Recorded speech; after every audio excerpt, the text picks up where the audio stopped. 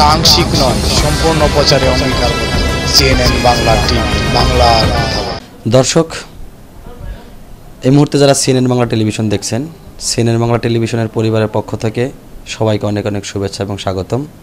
আজকে আমরা হাজির হয়েছি বাংলাদেশের অন্যতম একজন মানুষ এবং যে একজন গৌরবী ব্যক্তি, বঙ্গবন্ধুর সাথের লোক এবং বঙ্গবন্ধুর কর্মী, জনাব শ্রী মুকুল ঘোষ।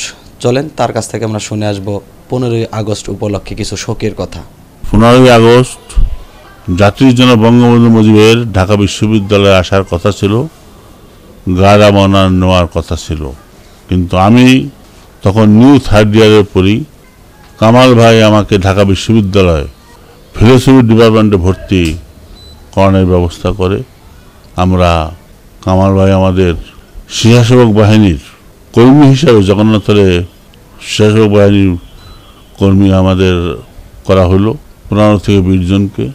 আমাদের বলা হলো যে বঙ্গবন্ধু আসবে, তোমরা সব সময় লক্ষ্য রাখবে। আমরা সেই চেষ্টাই করছি।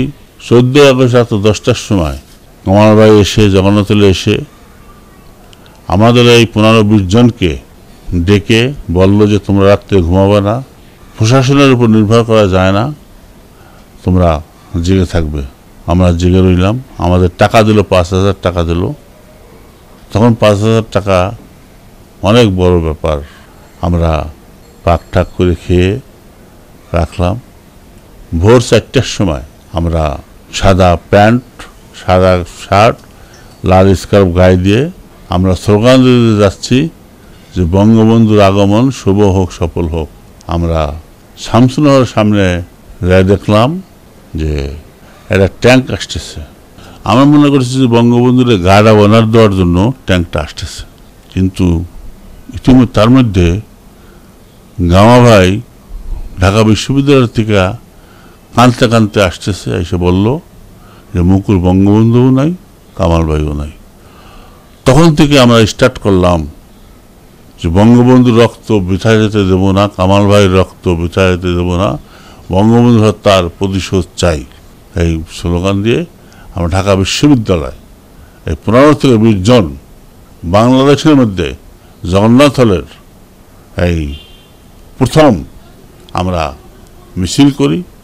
বঙ্গবন্ধু হত্যার প্রতিশোধের নেওয়ার মিছিল আমরা প্রথম বাইর করি। তারপরে আমি বলতে পারব না। কারণ তারপরে আমি অনেক চেষ্টা করছি এই জগন্নাথ হল থেকে বঙ্গবন্ধু হত্যার প্রতিশোধ নেওয়ার জন্য। সমস্ত কর্মীরা, প্রত্যেকটা হল, ঢাকা বিশ্ব প্রত্যেকটা হলে কেউ জায়গা দিত না। একমাত্র জগন্নাথ হলের অ্যাসেম্বলি ছিল। অ্যাসেম্বলি ছাদের উপরে প্রত্যেক ডিস্ট্রিক্টের লোক আসতো। আমরা লিফলেট দিতাম অনেক কিছু ডিস্ট্রিবিউট করতাম। বঙ্গবন্ধু হত্যার প্রতিশোধ আনচ্যালেঞ্জ আমরা যাইতে দেই নাই, আমরা চেষ্টা করছি কিছু করার জন্য। আমি মনে করি আজকে যারা পঁচাত্তরের পনেরোই আগস্ট, যারা বঙ্গবন্ধু, যাদেরকে এমপি বানাইছে, মন্ত্রী বানাইছে, টাকার মালিক বানাইছে, তারা, তাদের যখন দেখি, তখন আমাদের চোখ দিয়ে পানি পড়ে। এটুকুই আমি বলতে চাই। আমি একজন পনেরোই আগস্টের প্রতিবাদকারী সন্তান হিসাবে আমি একটু, আমি বলতে চাই শোক সভা পালন হচ্ছে কাঙালি বসে হচ্ছে। আমরা, আমি মুকুল বোস একজন কর্মী হিসাবে, পঁচাত্তরের প্রতিবাদকারীর একজন কর্মী হিসাবে অত্যন্ত সন্তুষ্ট, অত্যন্ত খুশি, অত্যন্ত আনন্দ। আমি পাশাপাশি বলতে চাই জাতির জন্য বঙ্গবন্ধু মুজিবের কন্যা। যদি না আসতো, আওয়ামী লীগের হাল না ধরতো, তাহলে বঙ্গবন্ধুর হত্যার খুনিদের বিচার হতো কিনা সন্দেহ ছিল। ওই কানাডায় নূর চৌধুরী, যে নূর চৌধুরী নিজে স্বীকার করছে, আমি বঙ্গবন্ধু হত্যা, হত্যার সাথে হত্যা করছি। সেই নৌ চৌধুরীকে ফিরিয়ে আনার চেষ্টা করছে। কিন্তু বঙ্গবন্ধুর কন্যা না হলে কেউ এটা করতো না। এটা আমি ব্যক্তিগত মনে করি। শুধু এটাই নয়, উন্নয়ন বলেন, সমস্ত যুদ্ধ অপরাধীদের বিচার বলেন, সমস্ত ঘটনা জনত শেখ হাসিনা না আসলে এটা হয়তো কিনা আমার সন্দেহ।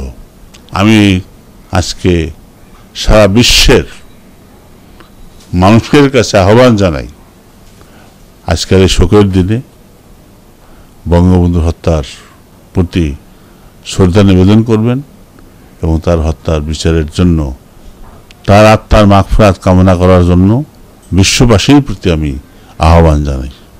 দর্শক, এতক্ষণ যে পনেরোই আগস্ট উপলক্ষে যে মানে মূল্যবান কথাগুলি শুনলেন জনাব শ্রী মুকুল বোসের কাছ থেকে, আসলে যারা বঙ্গবন্ধুর সাথের লোক, তারা এরকমই হয় এবং পনেরোই আগস্ট সম্পর্কে সে যতটুকু বলল, আমার মনে হয় না যে বাংলাদেশের আরও পাঁচজন জানে। কারণ তিনি উপস্থিত ছিলেন তখন, বঙ্গবন্ধুর সাথে সৈনিক ছিলেন তিনি। তার কাছ থেকে যে মূল্যবান কথা শুনলেন। দর্শক, ভালো থাকবেন, সুস্থ থাকবেন, সুন্দর থাকবেন। আজকের মতো বিদায় নিচ্ছি। আল্লাহ হাফিজ।